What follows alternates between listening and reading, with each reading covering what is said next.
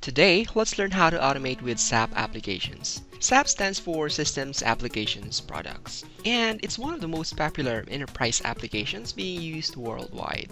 There are some similarities in building automation with SAP and Citrix applications. I'm currently running the recording mode. As you can see, UiPath is able to recognize each element of standard buttons, but it doesn't work in all parts of the application. Some blocks are detected as one element, just like this form. Well, that's not a problem. In fact, it's easy to handle it with UiPath. Let me explain first on what automation we'll be working on. Our goal is to set up a workflow to automatically fill out data for a new business partner. In this demo, we will cover different type of input fields.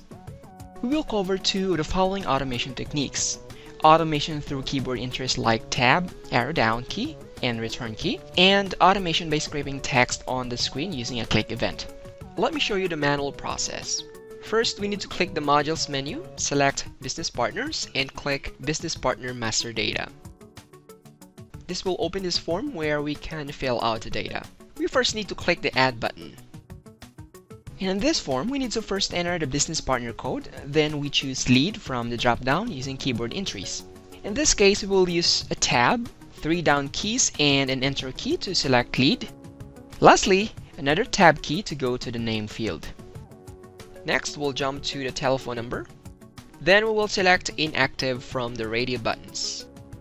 Lastly, we click the add button and we're ready to add another entry. Okay, let's build a workflow.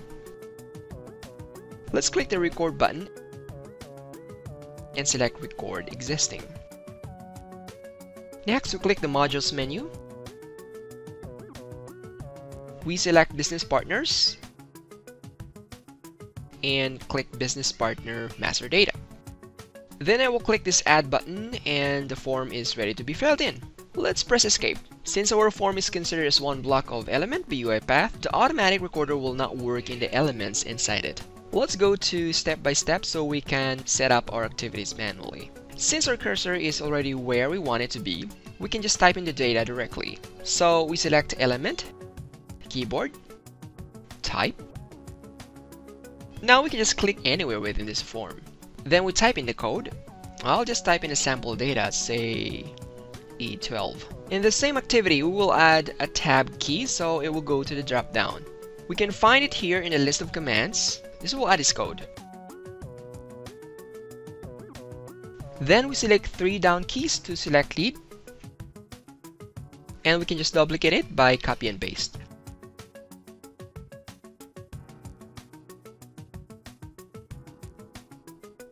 Then we add an enter key to confirm our selection. After selecting lead, we have to select tab again, so it will go to the next field. So that's our keyboard commands. Once done, we can press enter. The key here is for you to test how many keyboard actions it would take to go from one place to another. It will be easier to understand once you know the manual process of doing it. Let's save the recording and let's see how it works.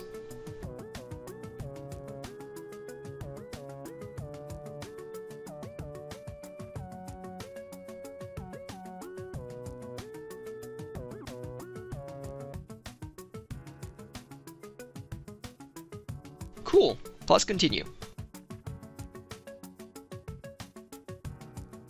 Let's send a keyboard command again by going to Element,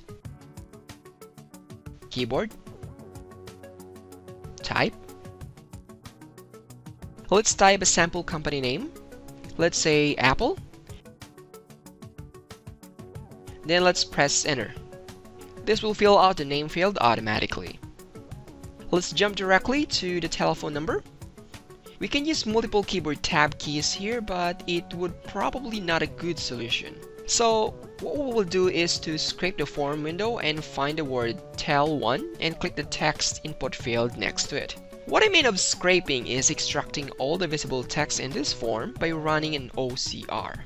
It uses the UiPath native screen scraping engine, so it's totally fast and 100% accurate. To do the scraping, we can go to text, mouse, click, then we click anywhere within the form. This will run the screen scraper and it will display all the text that has been scraped. Let's copy tel1 and paste it in this field next to text to be found. Then we set the mouse position where we want it to click. So let's click the input field next to tel1. Once done, we can click on the continue button. Now that we have positioned the cursor in the right spot, we are now ready to type in the phone number by sending a keyboard input activity. Let's click on Element, Keyboard, Type. Let's type in a sample phone number. Then we press Enter. The next type of field we want to click is the radio button. We will click the inactive. It's a similar process. Let's click on Text, Mouse, Click.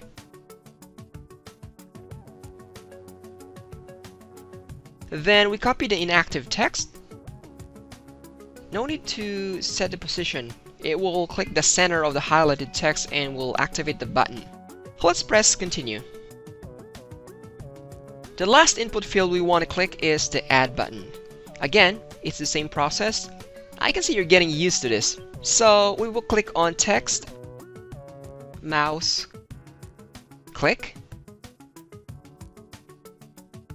Then let's find the add text. Then paste it under text to be found. No need to set the mouse position again. Let's press continue. So it works. As you can see, the data we filled in is cleared out. That means we already added the data. Let's save the recording and review what we have done. First, let's connect these two recordings.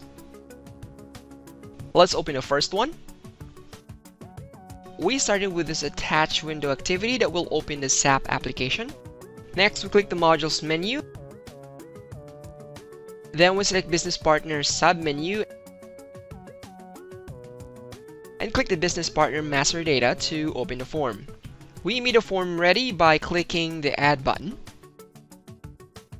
Our first keyboard action takes place here by typing E012. Then we added few keyboard commands like Tab, Down, and Enter keys to select an item from the drop-down. Then we added another tab at the end to go to the next text field.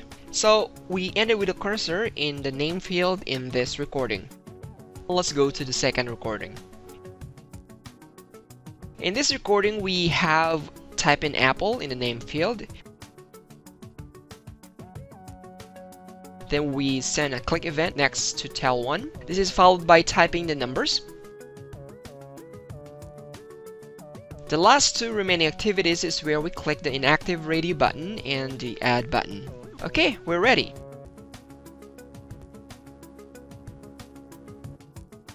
Let's run the workflow.